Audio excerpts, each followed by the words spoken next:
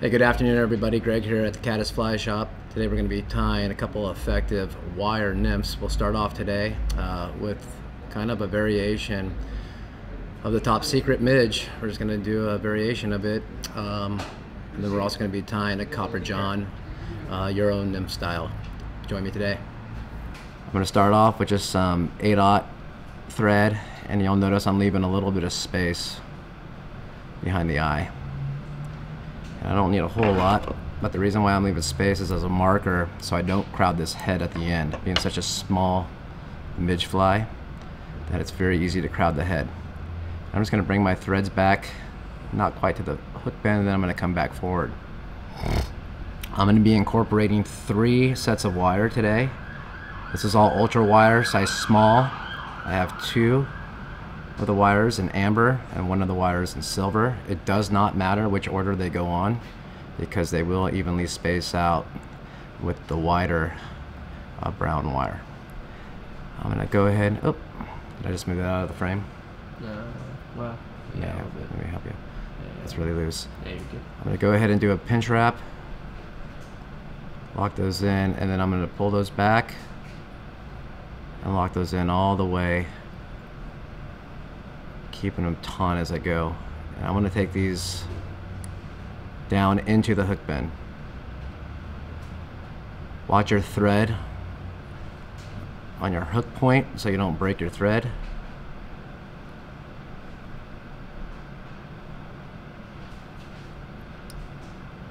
Bring that into the hook point. Horizontal wraps.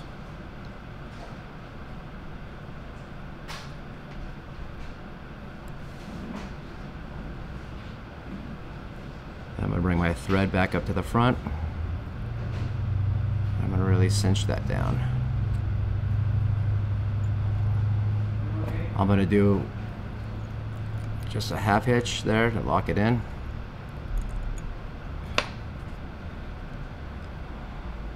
Then with the wires now and the rotary vise, today I'm using a Regal vise.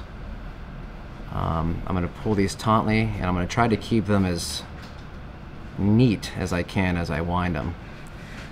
I'm going to come out like this, get one wrap started, and then I'm going to start using my... Take your time here. You want your wraps close together, touching. Pull them kind of tight and cinch them back just a bit.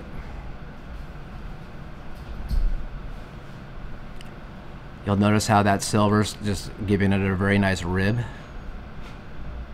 look. Some people choose to use UV glue on this. That's up to you if you want to. And then I'm gonna stop short. Right about, oh, I have my thread here. About there. I'm gonna lock this off with some very tight turns, about three or four turns. Also wrap a couple in front there. Then I'm gonna come up and use my old scissors, cut those wires out, clean that up just a hair with some wraps. Using all this wire makes this fly heavy. I'm not using any kind of bead or anything. But you can see those beautiful wraps right there using those three different wires. And then you want dubbing such as super fine, fine dubbing. You don't want this to be extremely bushy. But I'm going to build a little thorax here. And you want a fairly defined little bump you want to wind this on really tight if you can. Probably a noodle about.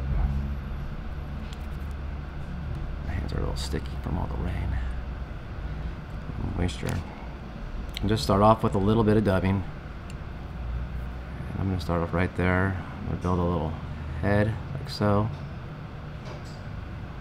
And that looks good. Then what I'm going to take is just a little bit of crystal flash. I'm taking this this is just a regular pearl color. So I want to simulate an air bubble. when the midges are coming up, there's a little air sac on top of their thorax or the body, and that's what we're going to mimic with this. It's going to almost look like a little wing, but it's supposed to be a little. I'm taking about four different pieces that I'm going to fold back right there like so and I'm going to wrap that even back more.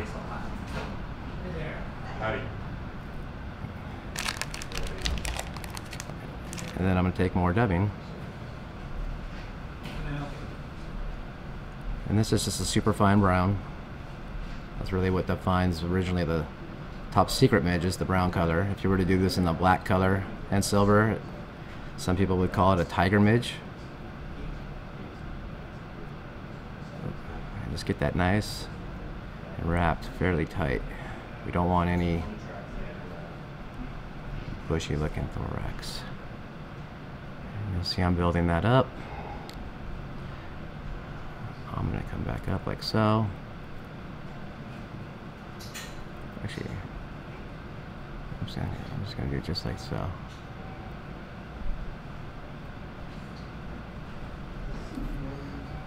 come back up over to the top. And you can see I'm really building that very very pronounced little bump or that thorax. I'm gonna come back one more time. And what I'm doing here is I'm gonna actually whip finish this off but I'm gonna cut these so they're out of my way. This is gonna be the little air bubble. And you just barely need anything just like that. That's about an eighth of an inch all right? Now you can whip finish this or you can do a couple half hitches. If you're going to do just a couple of half hitches you have to use glue. If you're going to whip finish it I don't worry about the glue so much. You're going to come up here try not to ca capture any of those little fibers. Do a three to four whip finish. Cut that off